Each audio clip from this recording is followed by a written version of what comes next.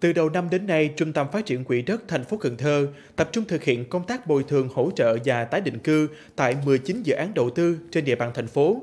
Nhờ vậy đã tạo điều kiện cho các chủ đầu tư đẩy nhanh tiến độ thi công các dự án. Trong đó, các dự án ưu tiên là dự án 3, các hạng mục đường Gia cầu Trần Hoàng Na, quận Ninh Kiều, đường Gia cầu Trần Hoàng Na, quận Cá Răng, đường sông hành Trần Hoàng Na, IC3, đường nối cách mạng tháng 8 đến đường tỉnh 918, dân dân.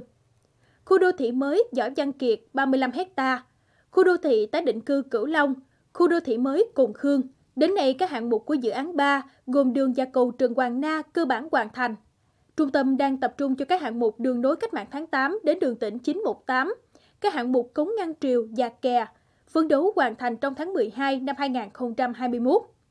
Trong 19 dự án, Trung tâm Phát triển Quỹ đất thành phố Cần Thơ đang thực hiện, đến 20 tháng 11 năm 2021 đã kiểm đếm lập hồ sơ bồi thường cho 605 trường hợp, diện tích khoảng 29 hecta.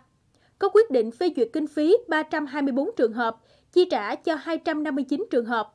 Phê duyệt chính sách tái định cư 427 trường hợp, trong đó có 153 trường hợp đủ điều kiện tái định cư, không đủ điều kiện 274 trường hợp.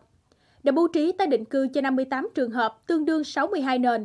Bàn giao mặt bằng được 421 trường hợp, diện tích khoảng 39,51 hectare.